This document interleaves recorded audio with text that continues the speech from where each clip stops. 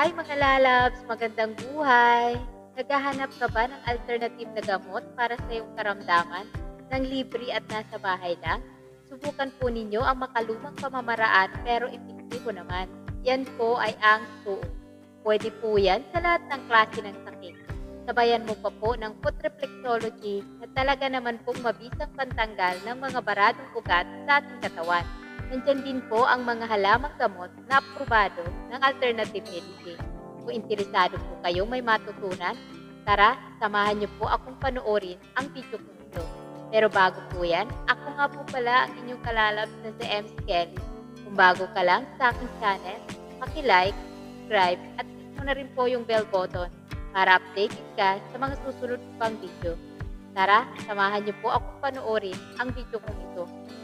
Ituturo ko sa inyo kung saan parte ng paa pipindutin o hihilutin.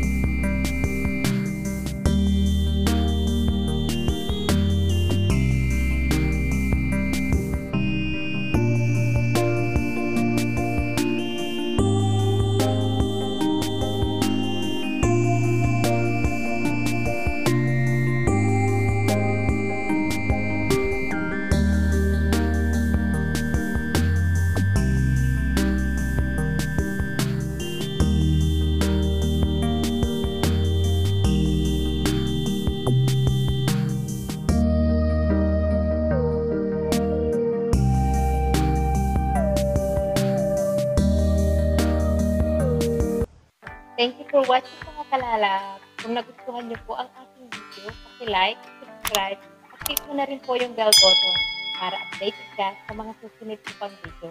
Mga lalab, pwede niyo rin po yan i-share sa inyong mga kapamilya, kaibigan, para naman po may matutunan po sila at magamit sa kanilang mga karamdaman. Kita-kits pong muli mga kalalab sa susunod ko pang video.